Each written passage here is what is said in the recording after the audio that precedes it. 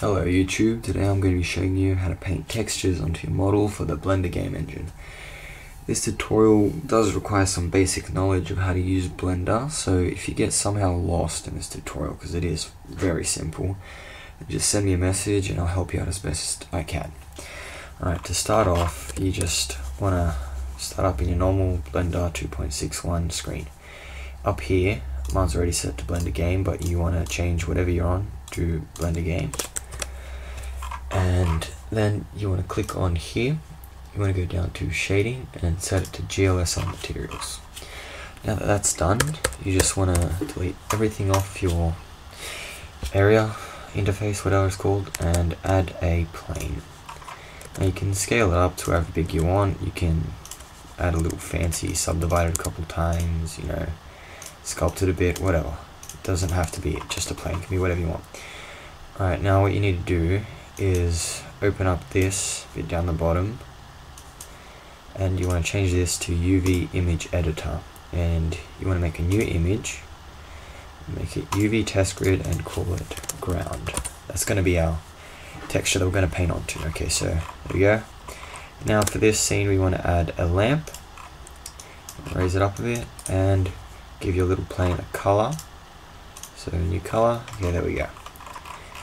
So now we're going to get into the painting part so make this a little bit bigger here and go to your texture panel. Now you want to click and add new texture go to image or movie and click on this little button here and go to ground. Make sure it's set to mapping and make sure it's on UV coordinates. Oh, and um, don't forget to unwrap your little area thing whatever by pressing tab U unwrap. Okay, so now we're set up for texture painting. So go into your texture panel again and you want to add a couple different textures. They all have to be images, make sure they're all UV coordinates and just add any textures, doesn't have to be anything special. See here, it's nothing that good. Oh, and just um turn them off here because that's the only texture we're actually going to be seeing. We're going to be painting this onto here, which then goes in there. So now just, I'll add one more so you get the basic idea. You can add as much as you want. Okay. Um, oops. Okay uh, uh, it's a good one. Uh, warning stripes. Is that one? Okay. Down here you want to make this a little bit bigger now down here you just want to press N and this will open up your little panel here. You can close all these and go down to image. Make sure this the ground image is selected like by ground. And go image image painting and then you get this little paint option here. So now remember these two textures are called texture 1 and texture 2 it helps if you name them because it's easier to find them so let's just call it stripe red and stripe yellow.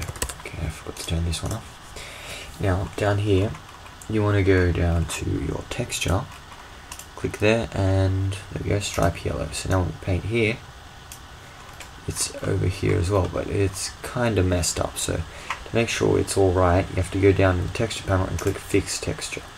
That way, it's a fixed texture and it tiles over nicely that bit bigger so you can see. And over here you got your little option panels so you can make it bigger um, strength more so there's no opacity more jittering effects. It's kind of more random. And then you can add another texture so you can add some stripes over this. There we see how jitter makes it random all over the place? You don't usually want jitter so paint a bit. Okay. So yeah you get the basic idea of this. It's pretty useful, especially when you're creating terrain for a game and you just want to get a nice smooth fading effect from grass to rock or whatever you're doing. So yeah, it's good. Um, what you can also do is you can also paint the Blender custom textures like noise and magic or whatever they're called, like um, magic, paint that. So that was stripe yellow paint some magic. Oh. Now to make sure that this saves, you want to go image and save as image. So when you're done texture painting your model, your image, save as image and save it on your desktop, for example, call it whatever you want. So that way, um, there it is right here. You always have it, so when you save your file, you can always link it back to here. So thanks for watching, and I hope this tutorial helped you in your game.